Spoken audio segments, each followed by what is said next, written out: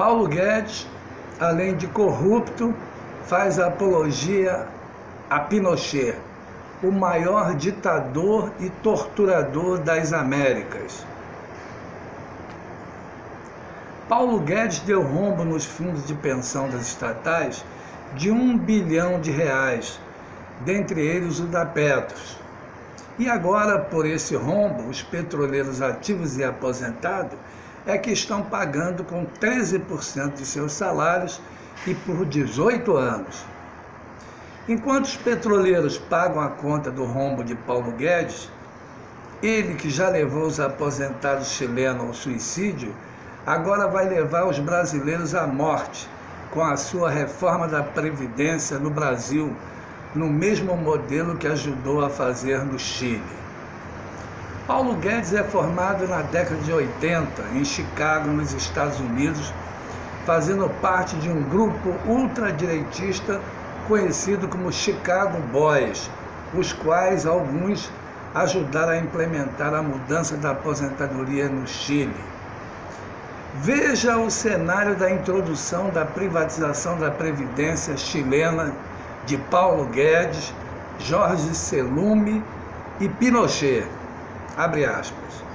Neste contexto da versão sinistra da repressão, com a exumação de covas clandestinas, cujos corpos eram preparados com trilhos de aço atados aos pés e jogados de helicóptero ao Pacífico.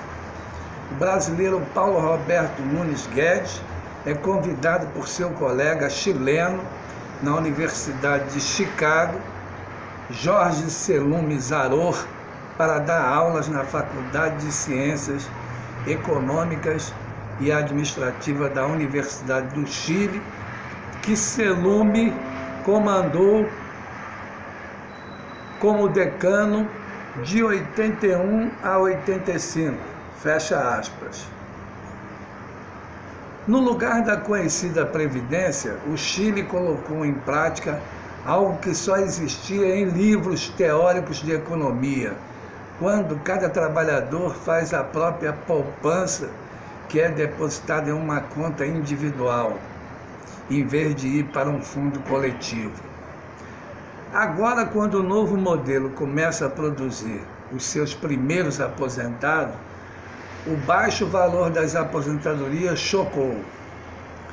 90,9% recebem menos de 149.435 pesos, cerca de R$ 694,08. Assim, Previdência do Chile foi privatizada. E agora, enquanto os aposentados chilenos são recordistas em suicídio, os bancos comemoram resultados fantásticos. Um deles, o Banco Pactual, que era de Paulo Guedes.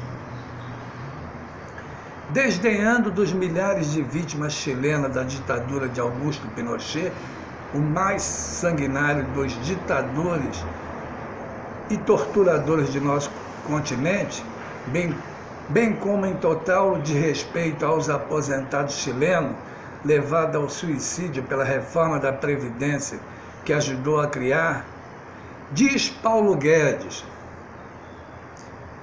abre aspas, Pinochet fez do Chile uma Suíça, fecha aspas.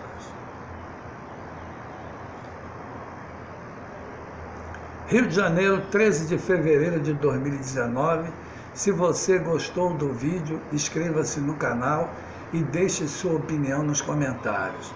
Você também pode comprar meu livro, A Outra Face, de Sérgio Moro, no Mercado Livre, pelo link na descrição, cuja renda exclusivamente será destinada aos trabalhadores desempregados pela Lava Jato através de cestas básicas. Um beijo no coração e obrigado pela atenção.